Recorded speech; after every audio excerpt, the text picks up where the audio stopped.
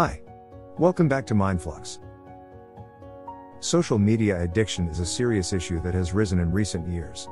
More and more people are finding themselves addicted to social media, which can have many negative effects on their life.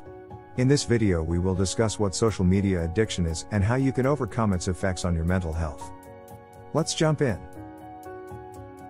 Social media is everywhere and can be addicting. Studies show that social media addiction affects the brain in ways similar to drugs, alcohol, or gambling addictions. Because it feeds off of dopamine release, without providing any real benefit for the user other than temporary feelings of pleasure. The dangers associated with this type of consumption seem limitless as we're turning into zombies who exist solely online, seeking validation from likes instead making connections face to face. Which leads us down an even darker path towards isolationism where you only communicate through screens rather than truly interaction. Not all social media use constitutes addiction.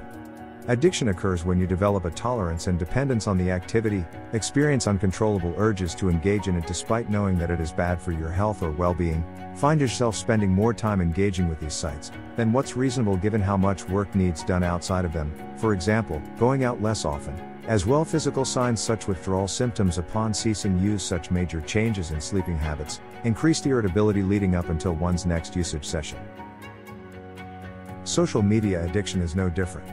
If you stop using social media for a period of time or cannot access the internet, your withdrawals may be physical, and emotional symptoms like anger or anxiety, as well as increased cravings to use it again once they're gone.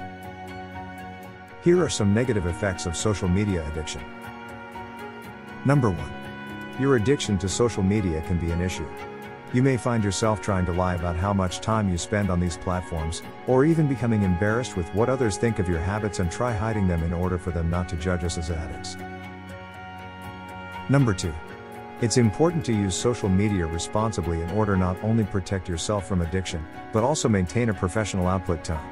Healthy use shouldn't impact your ability to get work done or attend school, with appropriate phone time during class and performing certain jobs like journalism assignments where they may sneak off for some quick blogging updates.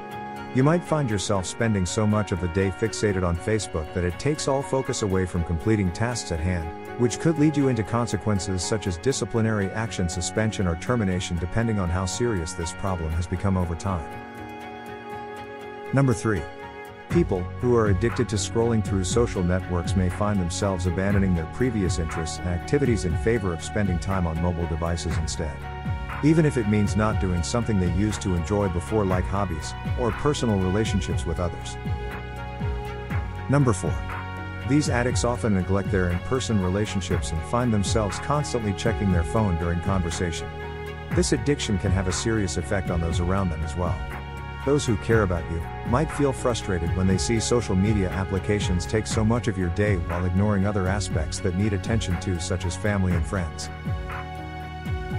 It's a common struggle to feel the pressure of social media and its addictive qualities. You may log on multiple times per day, spend endless amounts of time posting or engaging with other users and neglecting yourself in some cases. But don't worry.